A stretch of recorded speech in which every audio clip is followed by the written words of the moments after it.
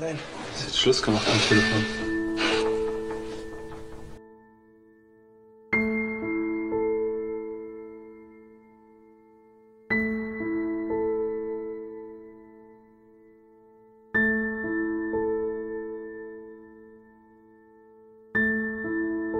Dass es mir schlecht geht und sie meinte, ich soll mich ins Knie ficken. Also hat sie mit mir Schluss gemacht. Du hast echt einen Schaden.